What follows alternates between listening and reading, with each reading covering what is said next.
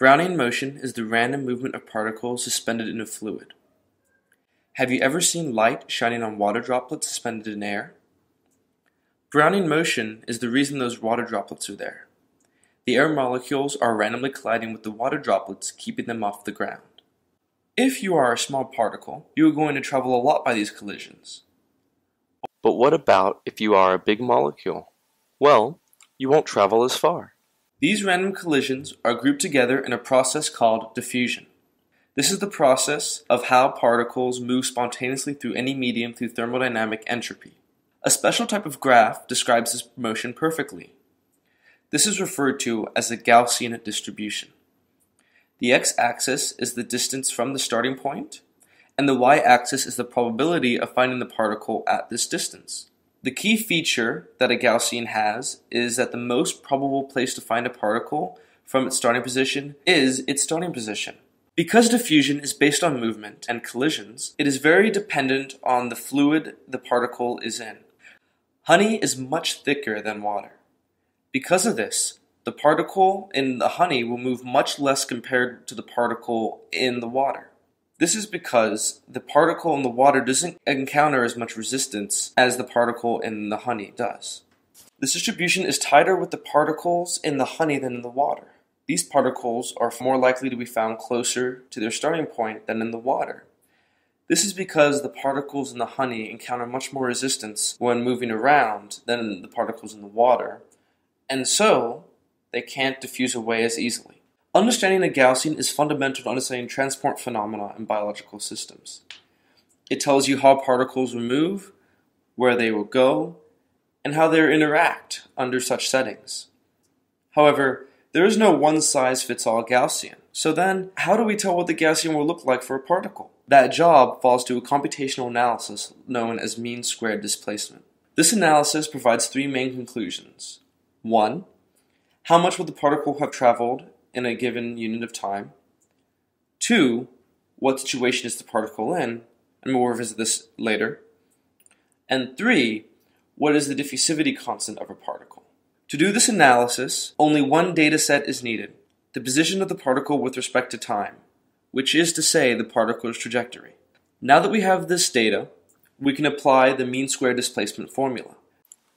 The main gist of the formula is to take the difference between two positions along the trajectory that is separated by a time amount known as the tau value.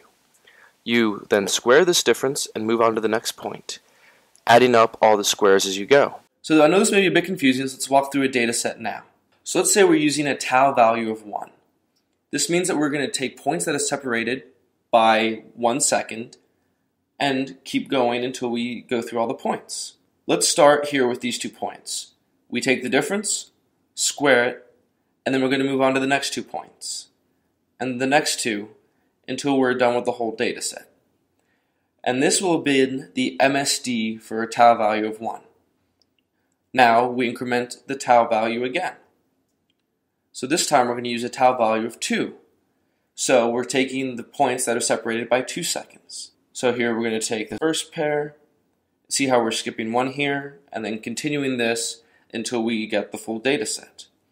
So now we've done the tau value of 2.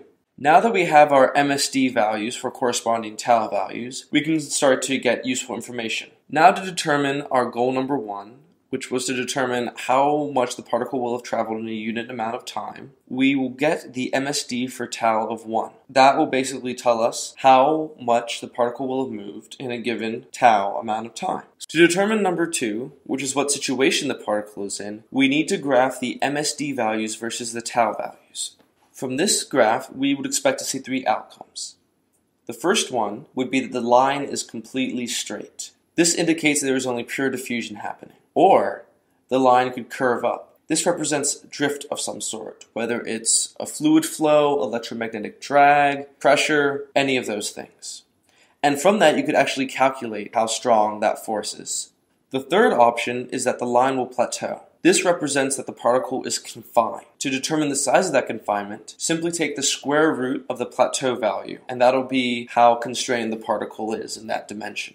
So we match our data to one of these three main trends to get an idea of what situation our particle is in. Now we need to determine number three, which was the diffusivity constant. We have a handy equation to help us figure this out. The capital D is the constant we are looking for. The lowercase d is the dimension of freedom we are looking at. For our case, the d is going to be a value of 1 for one direction, and it can be a maximum of 3 for x, y, and z. Tau is the time value we are using for the MSD. So now that we have the diffusivity constant, we can get a Gaussian. The width at the Gaussian at half of its peak value will be equal to this equation, where t is the time that we are looking at the particle since the start. This makes sense. The larger the diffusivity constant, the more the particle can travel in a set amount of time, and so the Gaussian should be larger to represent this. From this one experiment, we know how far the particle can move in a given time, what sort of condition the particle is under, and a quantitative measurement of the particle's dynamics in a diffusive state. To put this in perspective, we'd be able to tell how long it takes a neurotransmitter to cross the synaptic cleft, we can develop microfluidic platforms for separation of particles, and we can estimate the apparent size of a particle.